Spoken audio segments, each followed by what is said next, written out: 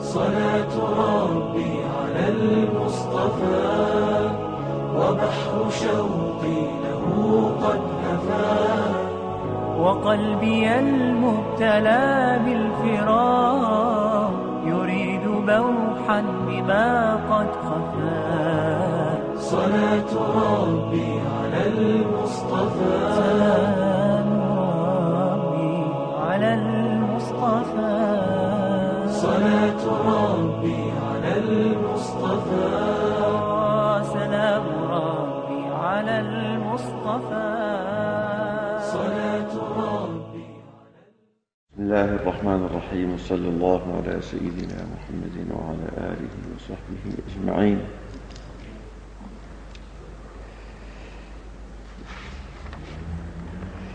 قال بيان كتب النبي صلى الله عليه وسلم التي أرسلها إلى الملوك يدعوهم فيها إلى الإسلام. ابني هذا من الإسلام يعني الدعوة إلى الإسلام هذه من الإسلام يعني الصلاة من الإسلام الحج من الإسلام الدعوة إلى الإسلام يعني نعرف الناس بالإسلام ونرغبهم في الإسلام ونحضهم على الإسلام إيه، على مختلف الطبقات من مسلمين أو غير مسلمين.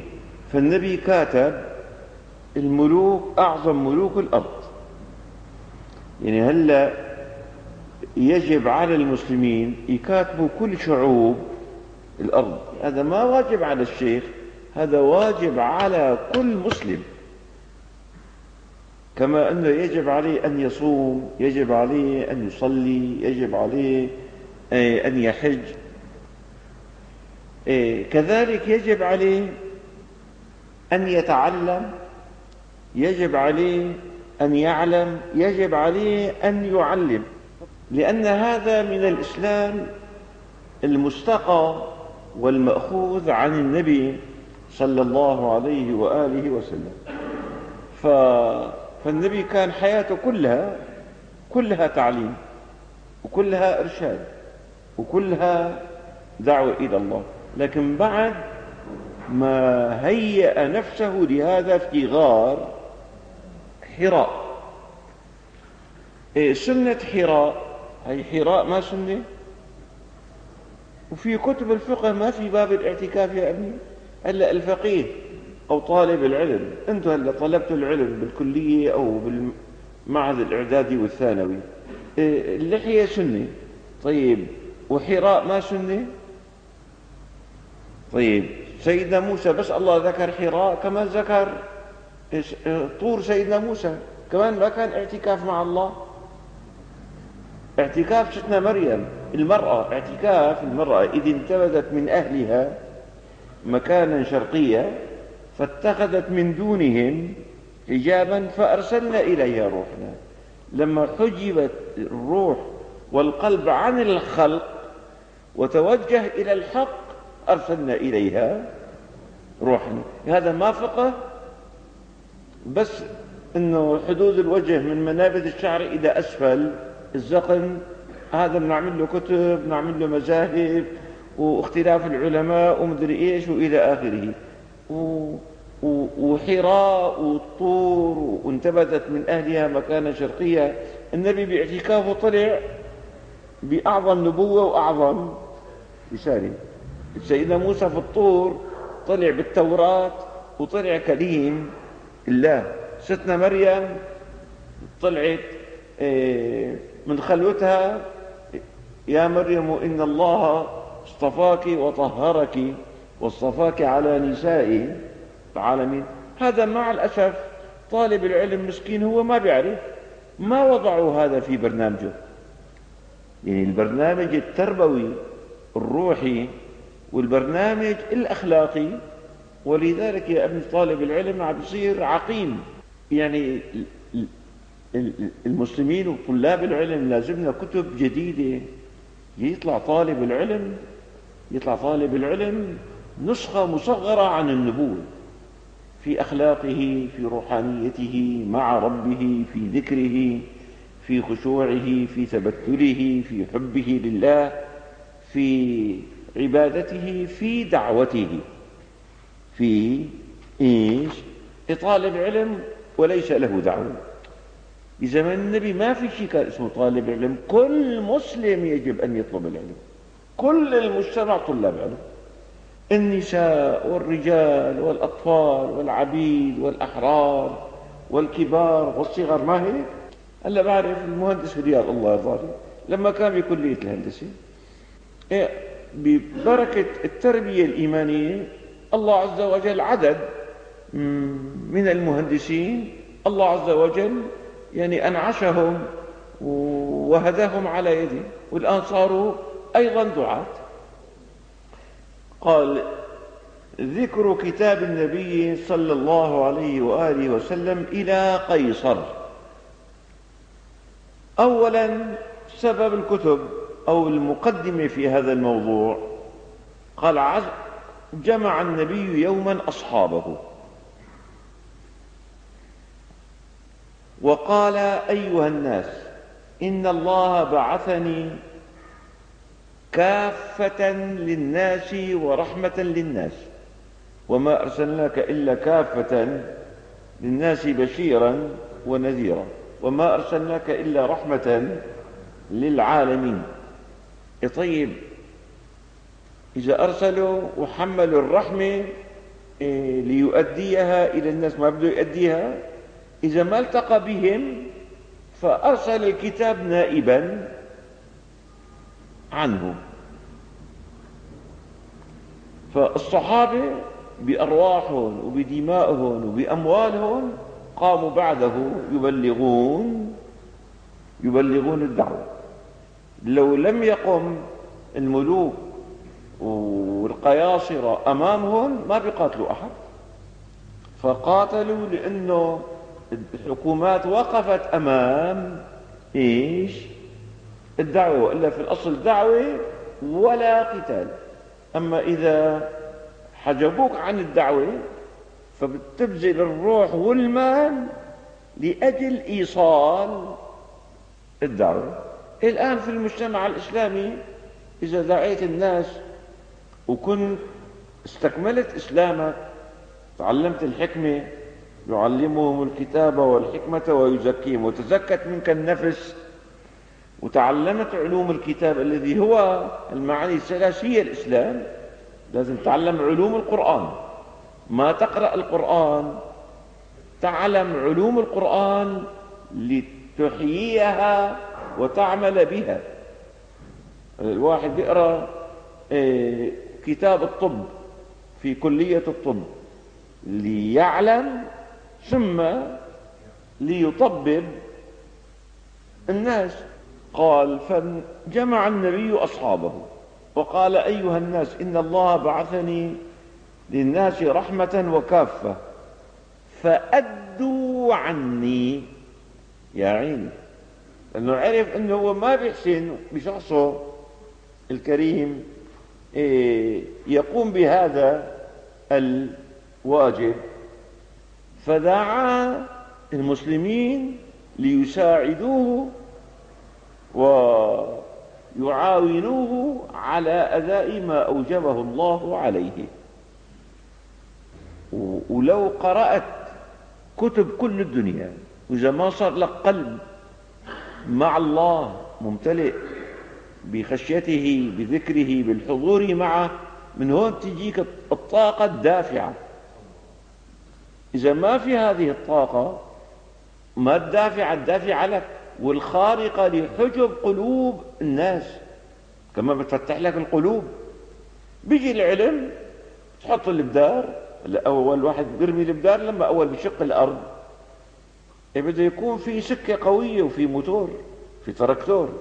إذا ما في تراكتور ما في قوة شق الأرض ترمي البدار تجي الطيور. بتلم البدار وبيطلع شغلة خسارة بخسارة. قال فقال فأدوا عني رحمكم الله ولا تختلفوا علي. كما اختلف الحواريون على عيسى بن مريم. لا تعملوا الدين دينين وعشرين دين وسبعين دين. فقال أصحابه وكيف اختلف الحواريون على عيسى بن مريم يا رسول الله؟ قال دعاهم لمثل ما دعوتكم إليه. فقال لهم إيه، أدوا عني بلغوا عني ولو حديثا واحدا حديث النبوي. ف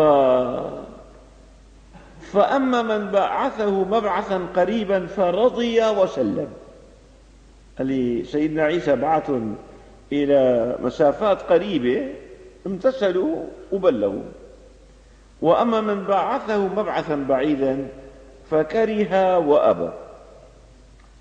فشكى عيسى إلى ربه أنه قالوا له بدك تبعثنا إلى بلاد لغتنا غير لغتهم وما بنعرف نحكي فيهم. فكيف بدنا نبلغهم فشكى عيسى إلى ربه فأصبحوا وكل رجل منهم يتكلم بلغة القوم الذي وجه إليهم.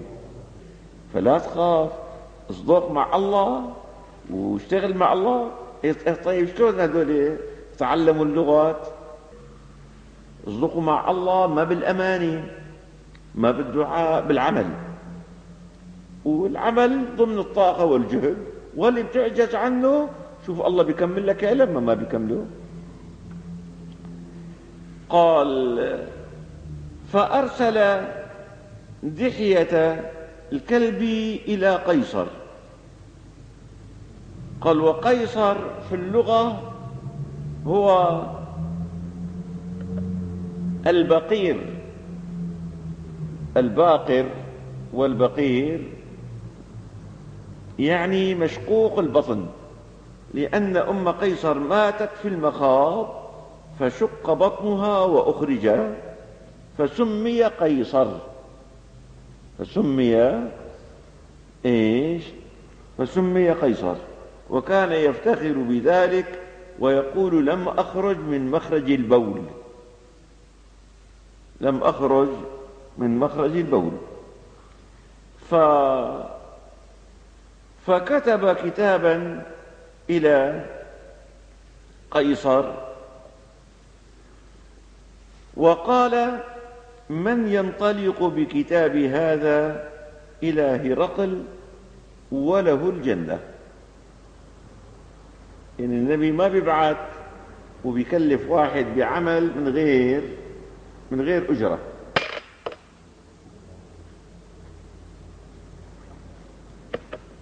هذا كلام النبي. أما كلام الله للذين أحسنوا في هذه الدنيا حسنة. ولدار الآخرة خير. بعدين لما تنزل الآيات النبي كان يعدهم بملك الدنيا وملك الآخرة. فأخذ دحية كتاب النبي صلى الله عليه وسلم وانطلق باتجاه قيصر. ف... فانتهى إلى يعني آه، بلاد قيصر اللي هي بلاد الشام. ف... واجتمع بالحاشية اللي بدهم يستقبلوه مثل وزارة الخارجية أو ما يشبه.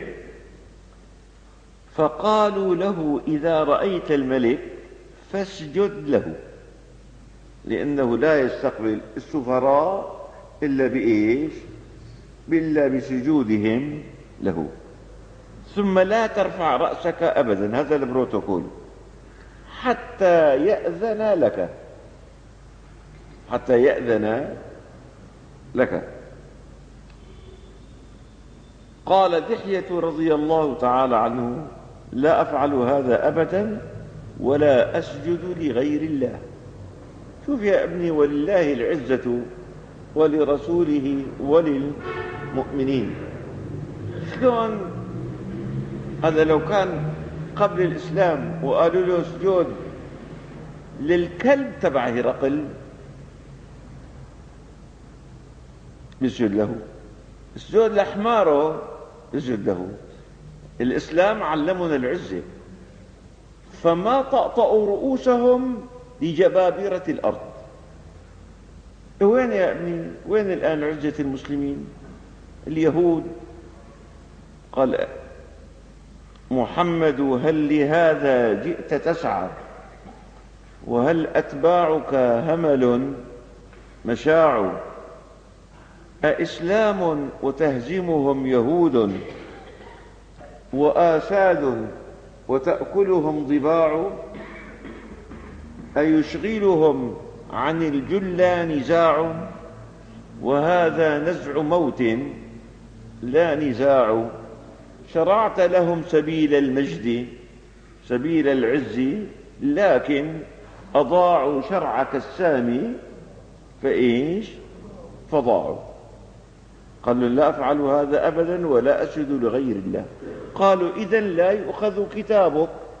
وقع في مشكلة. ما راح يحسن يحقق مهمة النبي. فوقع بين إشكال السجود وهو حرام وبين يوصل الكتاب وهو عليه فرض وواجب. إيه، لكن إذا صدق مع مع الله الله بدبره ومن يتق الله يجعل له مخرجا. فالله بعث له المخرج فقال له رجل منهم أنا أدلك على أمر يؤخذ فيه كتابك ولا تسجد له. قال وما هو؟ قال إن له على كل عتبة منبرا يجلس عليه. فضع صحيفتك تجاه المنبر فإن أحدا لا يحركها حتى يأخذها. هو؟ ثم يدعو صاحبها. محل جلوسه له مثل منبر قال له تحط المكتوب هني.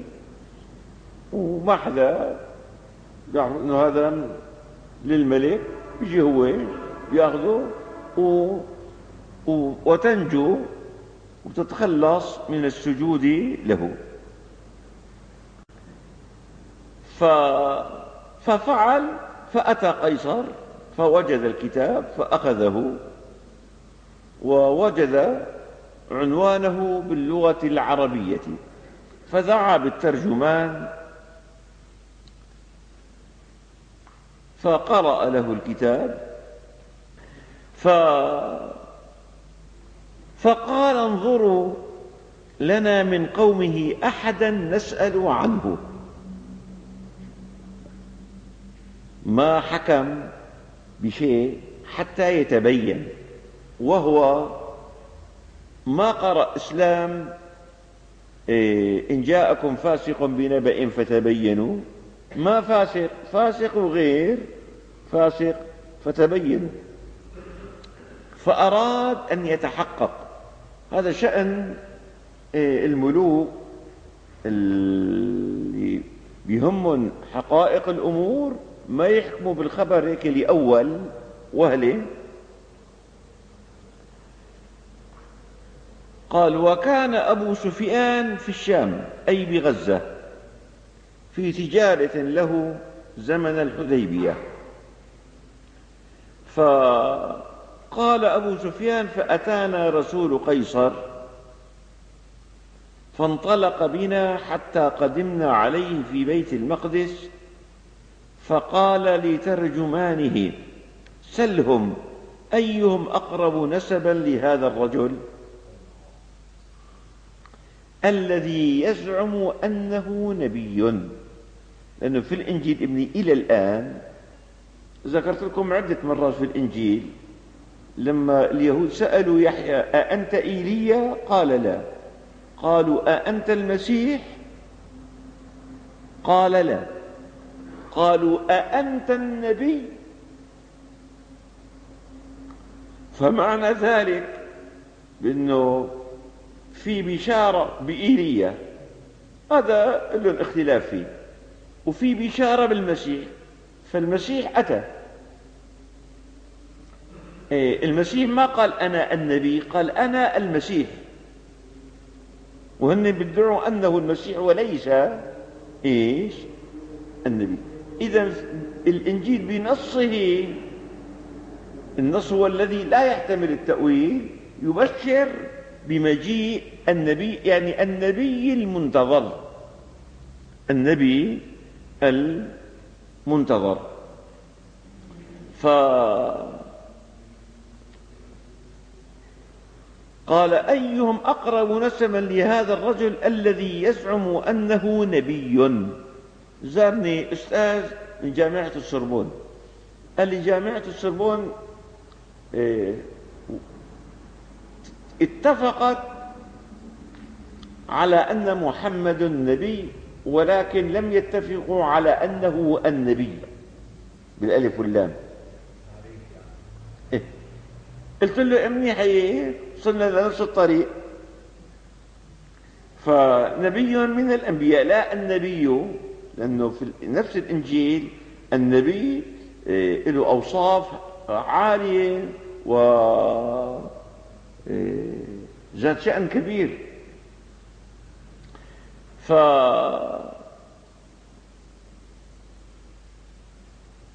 فقال أبو سفيان أنا أقربهم نسبا إليه. فقال له ما قرابتك منه؟ قلت هو ابن عمي. بيلتقي مع النبي في في جده الرابع. يعني يقال أبناء عمومه ولو كان. أبناء العمومة بعيدة لكن يقال له في المصطلح العام أنه ابن عم.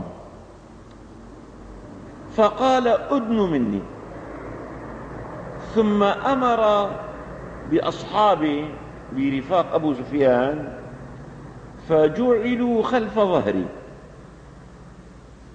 ثم قال لترجمانه قل لأصحابه إنما قدمت هذا أمامكم لأسأله عن هذا الرجل الذي يزعم أنه نبي. وإنما جعلتكم خلف ظهره لتردوا عليه كذبا إن قاله. إذا بيسألوا سؤال وكذب أنتم من وراء يعني بعيونكم بالإشارة بتقولوا لي.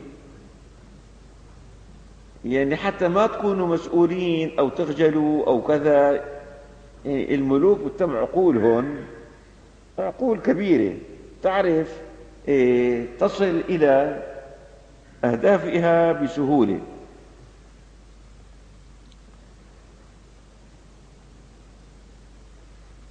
قال أبو سفيان فوالله لولا الحياء يومئذ أن يردوا علي كذبا لكذبت. وفي رواية لولا أن يقال عني أو يروى عني أني كذبت لكذبت يعني كانوا في الجاهلية وكانوا يتحاشوا من الكذب. ويشوفوا الكذب منقصة ويشوفوا الكذب إيه، قبيح. هلا واحد يدعي الإسلام يقول أنا مسلم. ويقرأ القرآن إنما يفتى بكذب الذين لا يؤمنون. بآيات الله. هي لا يعمل بها. يعمل بإيش؟ بيقول لك الكذب ملح رجال كذب ملح رجال شو كمالتها والعيب كأنه هذا قرآن عم ينسخ القرآن المنزل. ابني الآن المسلمين في جاهلية وال... والكارثة إنه عم نسمي هالجاهلية بالإسلام. يعني عم نشوه الإسلام عم نعرض جاهلية ونسميها إسلاما لذلك الناس عم ينفروا من الإسلام. كان جاهلية ما إسلام. الصحابة يا ابني الناس أسلمت لما رأت الإسلام في أعمالها في سلوكها في أخلاقها. في إخلاصها في روحانيتها. هذه المعاني تكاد أن تفقد. إن وجدت بدك عثورك على كنز مدفون من ألف سنة يمكن يكون أهون من عثورك على مدرسة تبني إسلامك الإسلام الصحيح. مع ذلك إذا واحد صدق في الطلب الله عز وجل بيجمعه بمطلوبه. قال قال وفي رواية لولا خفت أن ينقل عني الكذب إلى قومي ويتحدث به في بلادي لكذبت عليه لبغضي إياه ومحبتي نقصه. وبذا يعلم بأن الكذب كان من القبائح في الجاهلية. يعني العرب في الجاهلية كان بيحملوا شيء من الأخلاق لأنه كانوا يدعوا أنه على ملة إبراهيم. مثل ما نحن الآن ندعي نحن على ملة سيدنا محمد. ما شو صفيان من من رسالة سيدنا محمد في مجتمعنا؟ مثل كرم العنب إذا قطف كما لا شو صفيان من الإسلام الحقيقي؟ في مجتمعنا الإسلامي صورة الصلاة ابني صورة هي, هي طقوس. أما قلب الصلاة روح الصلاة ثمرات الصلاة. إن الإنسان خلق هلوعا. إذا مسه الشر جزوعا وإذا مسه الخير منوعا إلا المصلين. الذين هم على صلاتهم دائمون. والذين في أموالهم حق معلوم. هي ثمرات الصلاة والبرهان على الصلاة الصحيحة المطلوبة من الله عز وجل.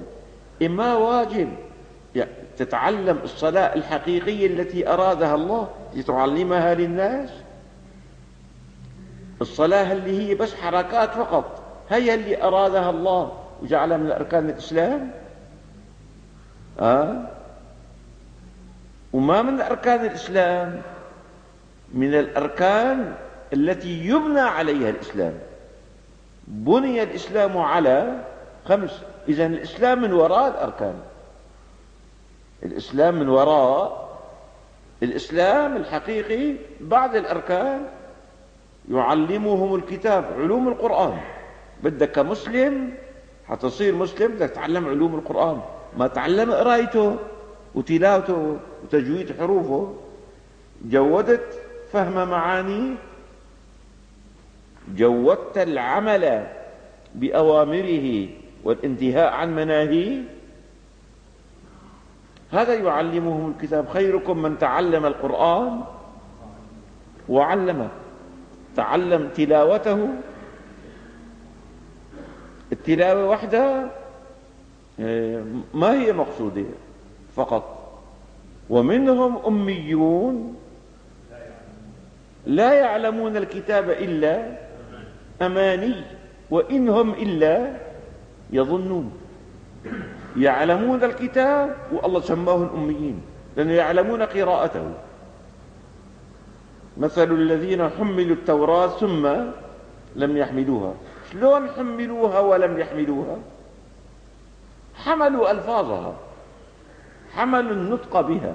ما حملوا العمل بها. فبدنا فقه جديد يا أبني. نكتب كتابة تلتقي مع أهداف القرآن مع التفقيه النبوي النبي كيف كان القرآن؟ الله شلون فقه الناس؟ في القرآن ابني. مع احترامنا لكل من كتبوا رضي الله عنهم وأرضاهم لكن إذا ألهمت فكرة جديدة فيها نفع لأهل زمانك أكثر. يعني هي مرفوضة؟ طيب يا ابني بدنا نتحرك شوية. نتحرك نحو الحياة بكفينا موت. وبدنا قلب الإمام الشافعي ما كان من الذاكرين الله كثيرا ما كان من المخبتين ما كان من الخاشعين ما كان من المخلصين. طيب هذا ليش ما بنجعله من المذهب الشافعي؟ ما كان من الصادقين في الأقوال والأعمال والأحوال. طيب هذا ما مذهب الشافعي الشيخ مصباح آه؟ الإخلاص وتقوى الله وخشية الله ومحبة الله. ف... فسأله قال كيف نسب هذا الرجل فيكم؟ قلت هو منا ذو نسب. قال هل قال هذا القول أحد منكم قبله؟ قلت لا. قال هل كنتم تتهمونه بالكذب على الناس قبل أن يقول ما قال؟ قلت لا. قال هل كان من آبائه من ملك؟ قلت لا. قال كيف عقله؟ قال لم نعب عليه عقلا ولا رأيا قط. قال فأشراف الناس يتبعونه أم ضعفاؤهم؟ قلت بل ضعفاؤهم. قال فهل يزيدون أم ينقصون؟ قلت بل يزيدون. قال هل يرتد أحد منهم سخطة لدينه؟ قلت لا. قال فهل يغدر إذا عاهد؟ قلت لا. لكن راد يدس قال ونحن الآن منه في ذمة وعهد. صلح الحديبية وعهد الحديبية. لا ندري ما هو فاعل. بيغدر ما بيغدر. قال فهل قاتلتموه قلت نعم. قال فكيف حربكم وحربه؟ قلت دول وسجال. ندال عليه مرة ويدال علينا أخرى. قال فما يأمركم؟ قلنا يأمرنا أن نعبد الله وحده ولا نشرك به شيئا وينهانا عما كان يعبد آباؤنا ويأمرنا بالصلاة وبالصدقة. وبالعفاف ويأمرنا بأداء الأمانة وبالوفاء بالعهد. فقال لترجمانه قل له إني سألتك عن نسبه فقلت إنه فيكم ذو نسب وكذلك الرسل والأنبياء تبعث في أنساب قومها. وسألتك هل قال هذا القول قبله أحد؟ فزعمت أن لا. فلو كان أحد منكم قال هذا القول قبله لقلت هو يأتم بقول قيل قبله. وسألتك هل كنتم تتهمونه بالكذب؟ فقلت لا. فقد عرفت أنه لم يكن ليدع الكذب على الناس ويكذب على الله. وسألتك هل كان من آبائه من ملك؟ فقلت لا. فقلت لو كان من آبائه ملك لقلت رجل يطلب ملك أبيه. وسألتك أشراف الناس يتبعونه أم ضعفاؤهم؟ فقلت ضعفاؤهم وهم أتباع الرسل.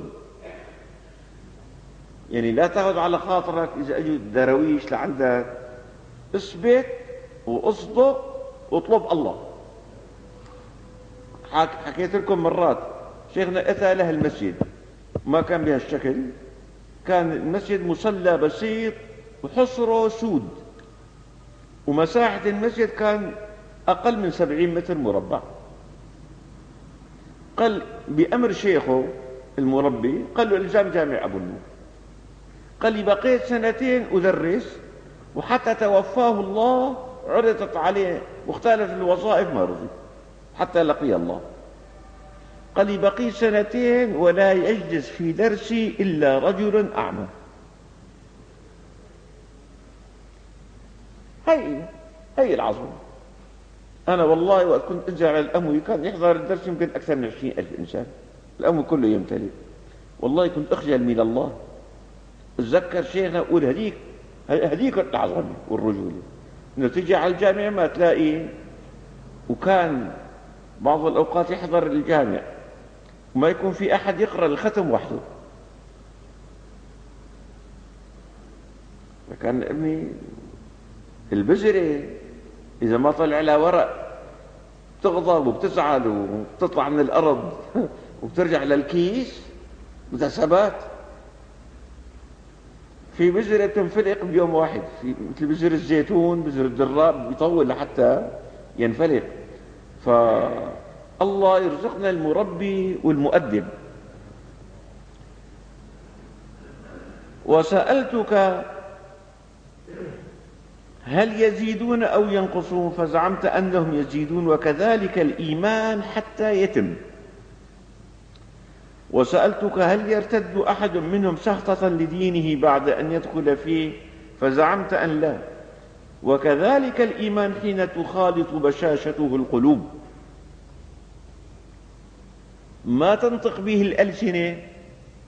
تخالط بشاشته القلوب. ولما يدخل الإيمان في قلوبكم إلا حتى يدخل الإيمان في قلبك ابني قلبك وسخ والإيمان نور الله. فرأيت العسل والعطر بنحط بتنكات زبالة تعليم العلم ابني بوضعه الحالي بده تصحيح. بده يكون مع التعليم في منهاج تربوي وفي تربوي أخلاقي من تزكية النفس وتربوي قلبي روحي رباني. قال وهكذا الإيمان إذا دخلت بشاشته وروحانيته وجماله إذا دخل في القلوب إيه لو بتفرم تفريم لو بتقطع تقطيع ما بيرجع عن دينه ولو حرق إيه، في النار.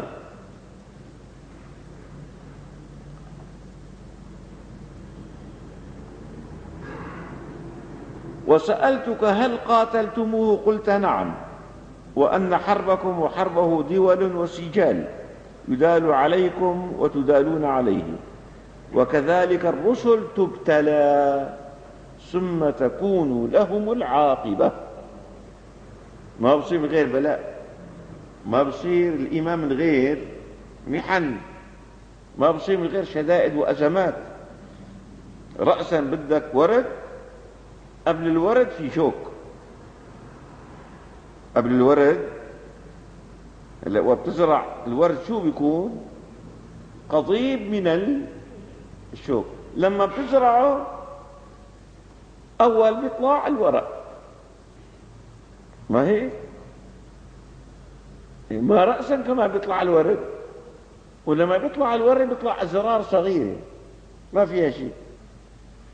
كذلك قال وكذلك الأنبياء تبتلى لكن ثم تكون لهم الداعي إلى الله في أول الأمر وحتى يلقى الله. النبي عليه الصلاة والسلام مات مسموما بسم خيبر لكن الموت ما بيخيف المؤمن. الموت انتقال من العمل إلى أخذ الأجرة. هلأ إذا واحد نقلوه من محل الشغل بعد شغل شهر لحتى يقبض معاش نقلوه للخزينة بيزعل هذا كان عندهم يقين وكانوا يشوفوا الدار الآخرة. شوفوا جمالها ونعيمها وفراديسها ب بنور الإيمان. هلا يا حصرتي أكثر الناس عميان ومن أعرض عن ذكري فإن له معيشة ضنكا ونحشره يوم القيامة. أعمى. ومن كان في هذه أعمى فهو في الآخرة أعمى وأضل. المقصود عمى البصر عمى البصيرة. وسألتك ماذا يأمركم فزعمت أنه يأمر بالصلاة والصدقة والعفاف والأداء الأمانة والوفاء بالعهد. وسألتك وفي البخاري هل يغدر فذكرت أن لا وكذلك الرسل لا تغدر. يعني الأنبياء دائما بيأمروا بمكارم الأخلاق. ف فعلمت أنه نبي وقد كنت أعلم أنه خارج. يعلم منين منين من الإنجيل بالإنجيل في نصين بمجيء النبي المنتظر. فقد كنت أعلم أنه خارج ولكن لم أظن أنه فيكم في العرب. وإن كان ما حدثني به حقا فيوشك أن يملك موضع قدمي هاتين. شو معنى يملك؟ يعني يحرر العرب.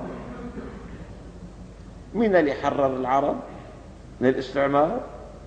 الإسلام. ثم قال قيصر لو أعلم, لو أعلم أني أخلص إليه لتجشمت أي تكلفت مع المشقة لقيه. وفي لفظ لا أستطيع أن أفعل ولئن فعلت ذهب ملكي وقتلني الروم. ثم قال ولو كنت عنده لغسلت عن قدميه. لغسلت هذا كله من معلومات الإنجيل اللي كانت عندهم. هلا صار مكتشف غير الأناجيل الأربعة القانونية صار مكتشف أكثر من عشرين إنجيل. أربع أناجيل منها تنفي الصلب وتثبت وما قتلوه وما صلبوه ولكن شبه لهم. تثبت أن المقتول غير المسيح أي من الأناجيل المكتشفة والأناجيل التي كانت كانت أكثر من مئة إنجيل في مجمع نيقية سنة 325 ميلادي أي نيقية في بلاد تركيا. الآن اللي كانت تسمى بلاد الروم. ف وبتوجيه من الدولة كان العمل بالشكل الذي انتهى إليه العقيدة النصرانية. قال آه، ثم دعا بكتاب النبي. فقرئ عليه فإذا فيه بسم الله الرحمن الرحيم من محمد بن عبد الله إلى هرقل عظيم الروم. سلام على من اتبع الهدى. شوف عزة الإسلام. عزة الإسلام عزة المسلم. ألا بدنا نعتز بغير الإسلام ومهما نريد العزة بغيره يذلنا الله. سلام على من اتبع الهدى. يعني ومن لم يتبع الهدى فلا سلام عليه. فمين طلع أعظم النبي لما قيصر. الإسلام أعظم لما الكفر. والنبي لسه ما بيملك إمبراطورية لكن العظمة عظمة النفس. تشعر العظمة بالله وبدين الله. وما تتعظم على مخلوقات الله إلا بحسب منهاج الله. أما بعد فإني أدعوك بدعاية الإسلام. أي بالكلمة الداعية للإسلام وهي كلمة التوحيد.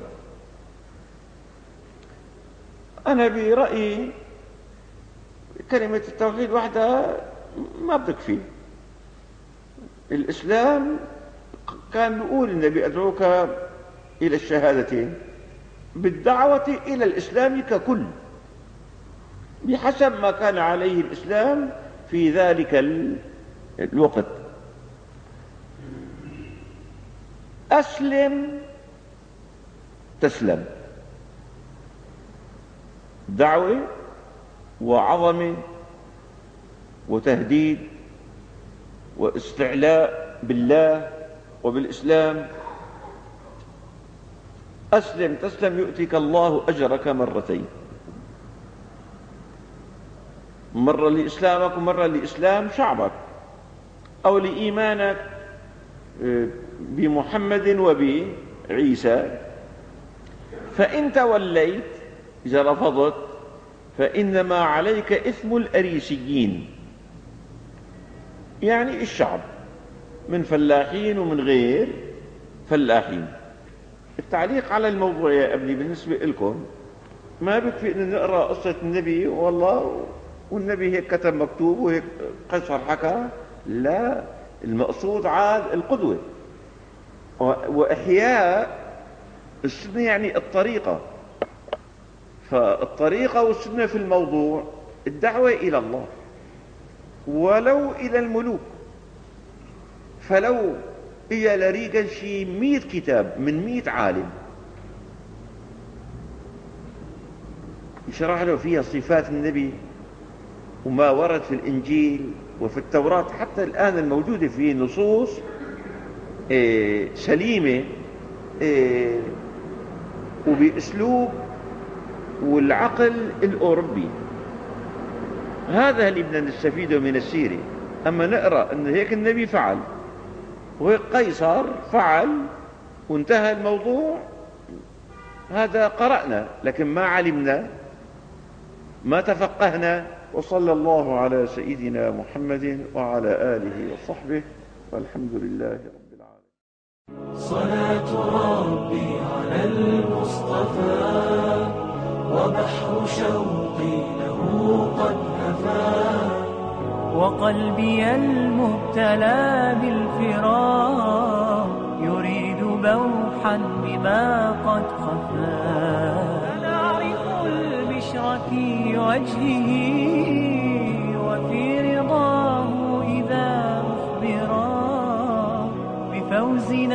واقتفى دربه ليسقي من كفه كوثرا